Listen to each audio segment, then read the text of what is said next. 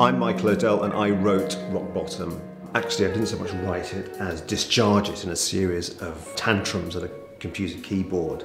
In 2005, I was a rock writer for Q magazine and I was engaged in a personal quest to interview the world's six biggest rock stars, the big six as I call them, Jagger, Richards, Bowie, McCartney, Pete Townshend and Jimmy Page.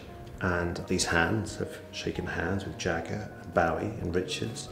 These ears have been shouted at by Bowie and uh, Oasis. But my quest kind of drew to a halt in 2005 when I freaked out at a rock awards ceremony. Now, that's a good place to freak out because at a rock awards ceremony, nobody really notices.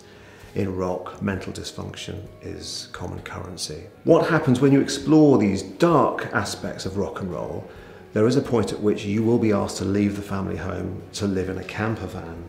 And that's what happened to me. I decided to take some time out with the agreement of my girlfriend and go and live in our camper van and think about what I'd really been doing with my life. I was under considerable pressure at home from my girlfriend to do something about my state of mind.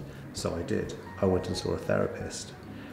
Um, but the only therapist I could find was a doughty, no-nonsense German therapist called Mrs. Henkel and she didn't give a shit about rock and roll. I thought Mrs. Henkel would be interested in my memorabilia. I wanted to tell her about my uh, hotel slipper that I stole from Mariah Carey, the pair of trousers I stole from the Strokes.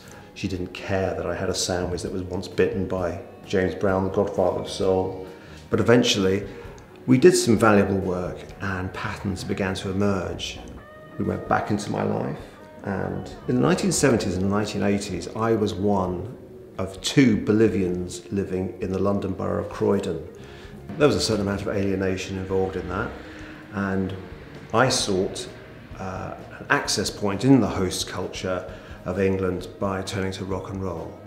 So don't buy another rock book, buy Rock Bottom because it's three books. It's a star-studded memoir it's a survival guide to living in a camper van when things at home aren't really working out for you. But it's also a bit like The Hobbit, it's a quest. In fact, I wanted to call the book Rock Hobbit, but they wouldn't let me. Do I actually meet the big six? Do I retrieve full mental health functionality? And what do I do with Mariah Carey's hotel slipper? You're just going to have to read it to find out.